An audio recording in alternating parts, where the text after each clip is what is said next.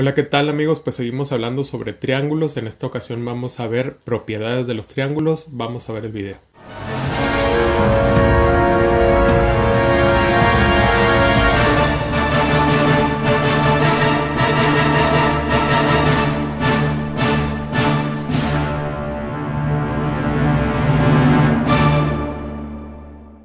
Muy bien, propiedades de los triángulos. En esta ocasión vamos a ver cuatro propiedades. La primera es una que ya te debes de saber, que es los ángulos internos de un triángulo deben de sumar 180 grados. Recuerda que si tienes un triángulo como este que está aquí abajito, em, los ángulos internos se refiere a los que se forman en cada uno de los vértices de manera interna en el triángulo. Entonces, esos tres deben de sumarte 180 grados.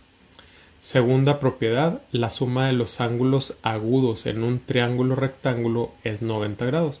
Es muy similar a la primera propiedad, porque si, si, los tres ángulos internos te deben de sumar 180 y ya tienes uno que mide 90, pues los otros dos deben de medir 90. Eso es solamente para los triángulos rectángulos porque son los que tienen un ángulo con 90 grados. La tercera propiedad dice que la medida de un ángulo externo, vamos a ver qué, cuál es el ángulo externo, ya te expliqué cuál es el interno. El, externo sería que extendieras uno de los lados del triángulo y con ese lado extendido y otro de los lados del triángulo se forma un ángulo externo. Entonces el ángulo externo debe de medir eh, lo que te falte para 180 tomando en cuenta la medida del interno o Diciéndolo de otra manera, debe de medir lo mismo que los otros dos ángulos que no son el interno que está pegado a ese externo. Y por último, la suma de los ángulos externos debe de ser igual a 360 grados. Entonces, si yo tengo este que acabo de dibujar aquí y luego también aquí estiro este y me fijo la medida de este y también estiro este y me fijo la medida de este, entonces la suma de este, este y este me debe de dar 360 grados. Muy bien, entonces vamos a ver ahora unas, unos ejercicios que tienen que ver con estas propiedades que acabamos de, de mencionar. Número 1 dice cuál es el valor de x. Si te fijas, ahí nos están dando tres medidas de ángulo en álgebra, 4x más 2, 10x y 4x menos 2. Esas tres sumadas te deben de dar 180, entonces pongo 4x más 2 más 10x más 4x menos 2, eso debe de ser 180. Sumo las x, 4x y 10x y 4x son 18x. Y los números se cancelan porque son más 2 y menos 2. Eso es igual a 180. Despejo el 18, queda x igual a 180 entre 18. Y eso es 10. Y con eso estoy respondiendo la primera pregunta que dice ¿qué valor tiene x? 10. Y luego ¿qué valor tiene el a, b y c? Entonces sustituyo el 10 en cada una de las x y el valor que me resulte, esa es la respuesta. Entonces en el inciso A sería 4 por 10, 40 más 2, 42. El B sería 10 por 10, 100.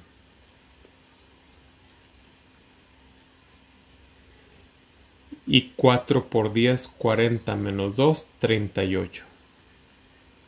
Entonces ahí tengo 42 grados, 100 grados y 38 grados. Número 3. ¿Cuánto mide A, C y D? Vamos primero con el primer triángulo que viene aquí arriba. Tengo ya dos medidas, 70 y 35.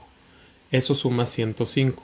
Para completar los 180 que deben de medir los internos, A debe de medir 75 grados.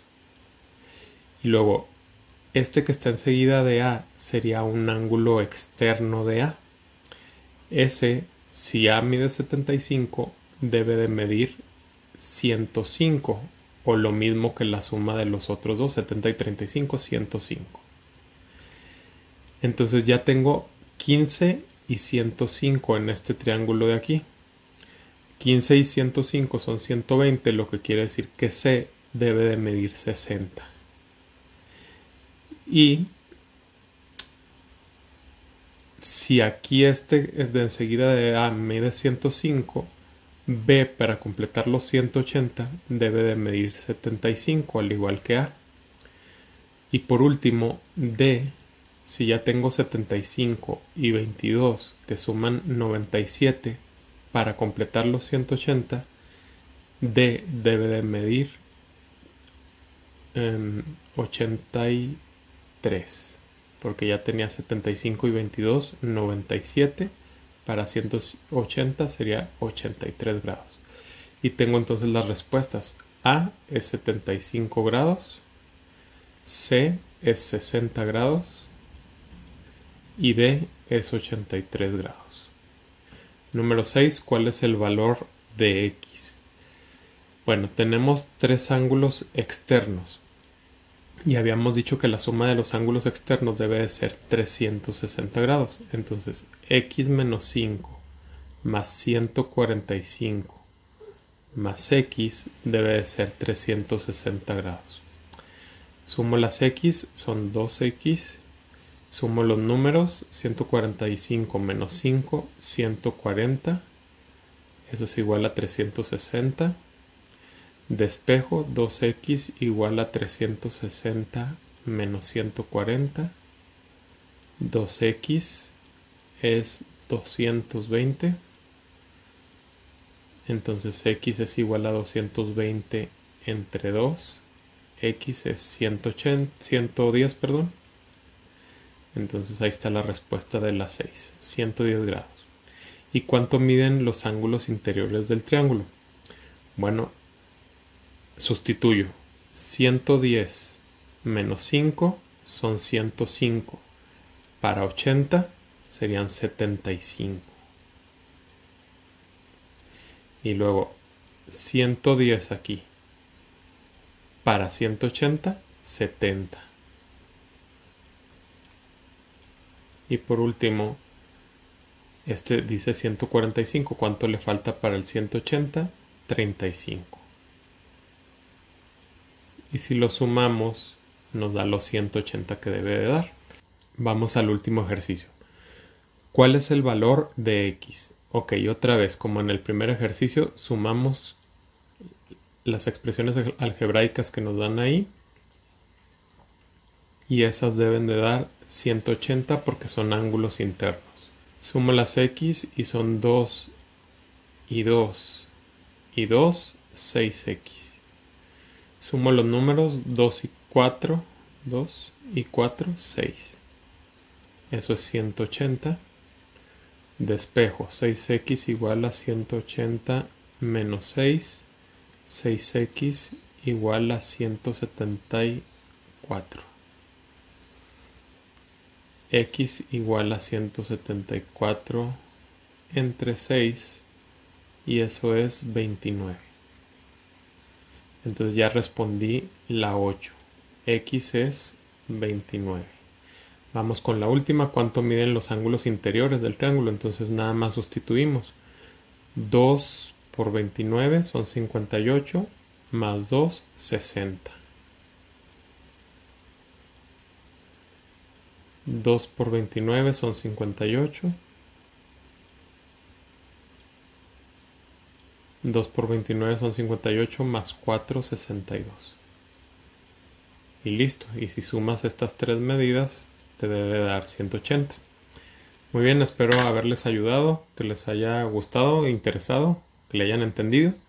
Y eh, les pido denle like, compartan el video, sobre todo suscríbanse, suscríbanse, suscríbanse y seguiremos hablando sobre triángulos. Nos vemos en el siguiente.